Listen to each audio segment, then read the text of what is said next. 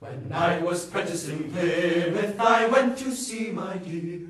The candles they were burning, the moon shone bright and clear.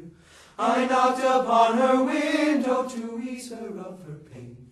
She rose to let me in, then she barred the door again. I like your good behavior, darling, thus I often say, and I cannot rest contented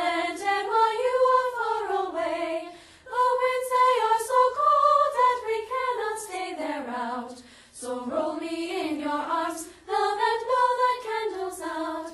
Now father and mother in yonder room do lie, all hugging one another, so why not you and I?